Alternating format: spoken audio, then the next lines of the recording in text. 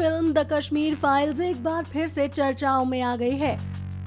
Film director Vivek Agnihotri और actor अनुपम खेर की ये फ़िल्म जब बड़े पर्दे पर रिलीज़ हुई थी, तब इस फ़िल्म पर नफरत फैलाने का आरोप लगा था।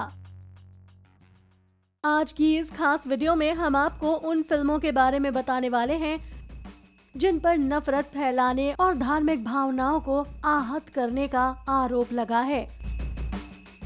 इस लिस्ट में एक ऐसी भी फ़िल्म शामिल है जो बॉक्स ऑफ़िस पर सुपर हिट साबित हुई थी।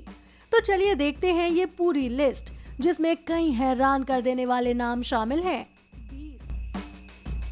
साउथ स्टार थलापित विजय की फ़िल्म बीस्ट को पाकिस्तान में बैन कर दिया गया था।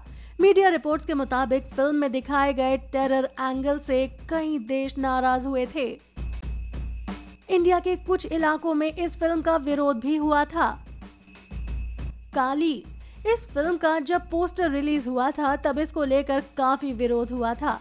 इस फ़िल्म के पोस्टर में माँ काली को सिगरेट पीते हुए दिखाया गया था। इस फ़िल्म पर धार्मिक भावनाओं को आहत करने का आरोप लगा था। पीके। आमिर खान की फ़िल्म पीके पर धार्मिक भावनाओं को ठेस पहुँचाने के आरोप लगे हैं। इस फ़िल्म के कई ऐसे सीन्स थे जिसे देखने के बाद लोग भड़क गए थे। Why I killed Gandhi Mahatma Gandhi हत्याकांड से जुड़ी ये फ़िल्म भी इस लिस्ट में शामिल है। इस फ़िल्म को रोकने के लिए कोर्ट तक बात पहुँच गई थी। इस फ़िल्म पर नफरत फैलाने का आरोप लगा था। तांडव। वेब सीरीज़ तांडव काफ़ी विवादों में फंस गई थी। मीडिया रिपोर्ट्स के मुताबिक इस फ़िल्म पर धार्मिक भावनाओं को आहत करने और प्रधानमंत्री पद की छवि खराब करने के आरोप लगे थे। खुदा हाफिज टू। विद्युत जामवाल की फ़िल्म खुदा हाफिज टू का नाम भी इस लिस्ट में शामिल है। इस फ़िल्म पर भी धार्मिक भावनाओं को आहत करने के आरोप लगे थे। इसके बाद फ़िल्म मेकर्स ने माफ़ी भी मांगी थी। A suitable boy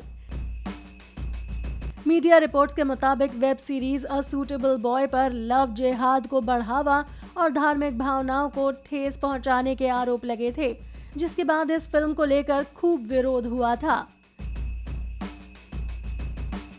The Kashmir files. अनुपम खेर की द कश्मीर फाइल्स पर नफरत फैलाने का आरोप लगा था। इस फ़िल्म के रिलीज़ होने के बाद से इसका विरोध हो रहा था। अभी हाल ही में Israeli film maker Nadav Lapid ने इस फ़िल्म को प्रोपेगेंडा बताया है।